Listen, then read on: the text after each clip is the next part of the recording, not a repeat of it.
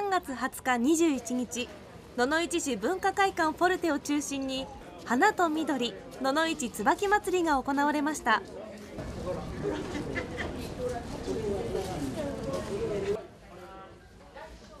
去年は新型コロナウイルスの影響で中止となってしまいましたが野々市に春を呼ぶ祭りとして椿に関する展示や苗木の販売特産品などが並び多くの来場者でにぎわいました。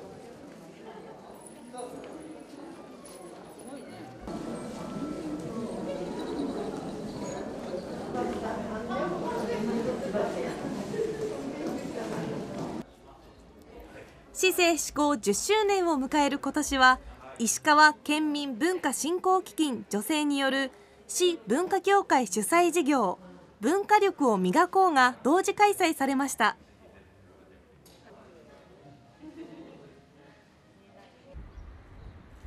今回は文化力を磨こうの一環として学びの森野々市カレードで行われた百鎮図再現展を紹介します。百鎮図は100種類以上の椿が描かれた江戸時代の巻物です。東京の熱美術館が所蔵する名品として知られていてワインやすずり箱など身の回りのさまざまな品を花器に見立てて生けられた椿が描かれているのが特徴です。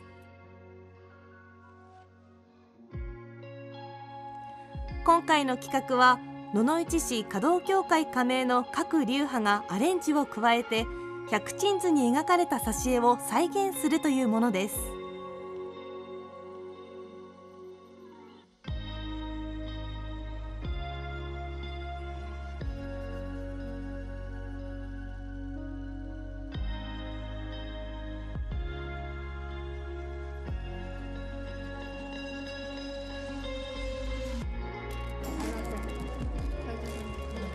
市華道協会会長の西穂さんに伺いました。椿だけ一色あの百鎮図という江戸時代にできたねそういうあの古書に基づいて再現全て再現できませんけど似たような感じで椿一色つけてあの皆さんに、えー、見ていただけたらということで、えー、今回初めてしました。はい。また今回の再現展には事前に応募した市民9人が参加し市稼働協会員のアドバイスを受けながら椿の生け花に挑戦しました。そしてここからグってここを極まるように、そうそう、うん、そう、うん、ね、うん、でも予備に置いとく必要ないわ。ああそうか、うんうん、そして葉っぱも出して。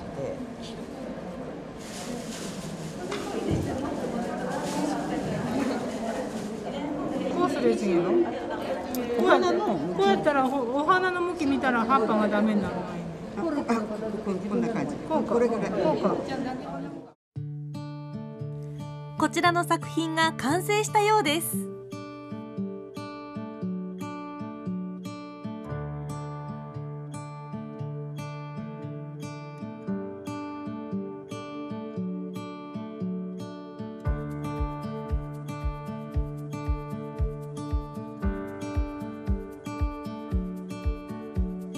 椿だけでこんなに豪華になるのだなと思って、はい、いいなと思いました。なかなか花いけることが1本入れるのが普通なので こんなにたくさんいけるのは面白かったです。椿もこんなにたくさん、えー、いけると豪華になるのだなという方が、はい、椿はやはりなんかちょっとポロッと落ちるところがなんともね儚いかなと思います。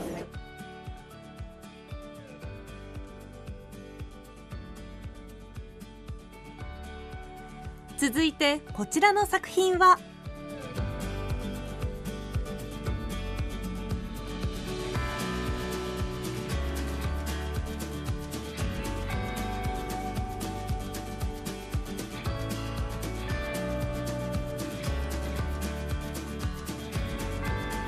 先生にあの葉の流れとかをあの美しく見せるあの手法っていうんですか？教わりましたしあの今後もお家で生け花を楽しむ時にあの気をつけながらやっていきたいと思います。若い頃は椿の花っていうのはすごくあんまりあの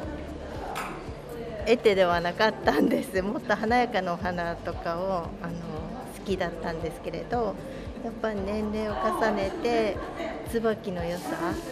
あの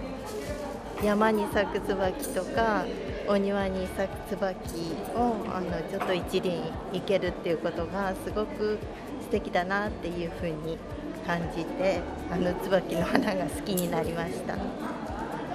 寸法も測ってきちんと入れていくのはやっぱりアレンジメントの世界なんです。基本科学的な世界で入れていくのがね。でもこれは生の生け花ですので主従関係を考えながらあの四隅の変化を楽しむようにして入れさせていただいたこととそしてやっぱ中心のところはぐっと締めるようにあの短くぐっと入れてそこから枝がこう中心から全てが伸びてくるような感じに心がけて入れさせていただきました。参加者が生け終わると華やかな百鎮図の世界が野々市カレードに現れました。野々市はのお花が椿ということで本当にいろんなお花があります。ちょっと変わったのでは葉っぱがね金魚椿っつって金魚の尻尾みたいになってるのとかね本当にいろんなのあって皆さん楽しんでるお花ですのでみんな楽しそうに 始めたあのの人なので、まあ、あの簡単なんですけど、まあ、本数が少ないとまたあの難しいとこもありますけどなんとかあの美しいのに入りました。はい。今回展示に携わった華道協会は昭和53年に設立されました。会員相互の親睦を図り華道の技を磨き野々市市の華道文化の発展に寄与することを目的としています。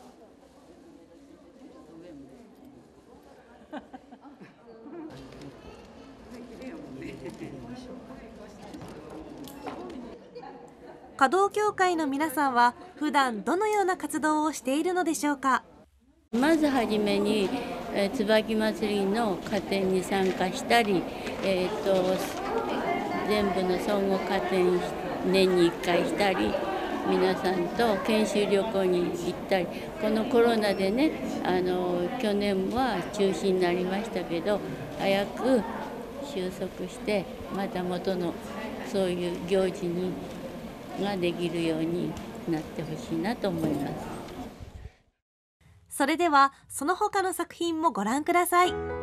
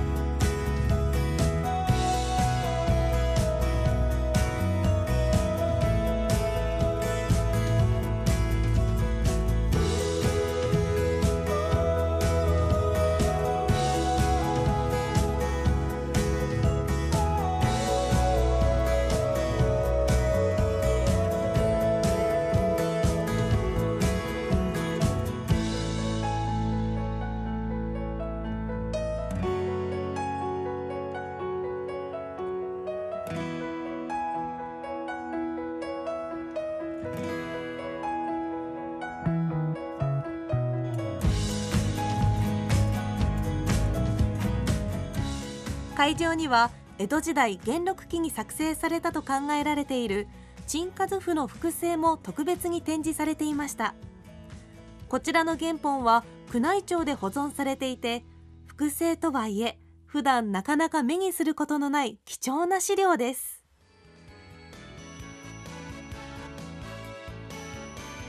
寒い時期に咲くお花なんであの雪ちらちら降っててもお庭に赤いヤブツバキが咲いてるとああそろそろ春かなと思うし優しい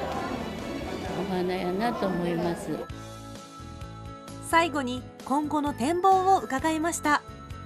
たまにもこういうのもあったらあの、ね、今までお花をねあんまり興味ない人でもちょっとこういうので参加してほしいなと思うからまたこれからもこういうのにあったらあのみんなで協力したいと思います。市の花木椿にちなんだ今回の企画市のシンボルとして愛される椿の魅力を改めて知る良いきっかけになったのではないでしょうか。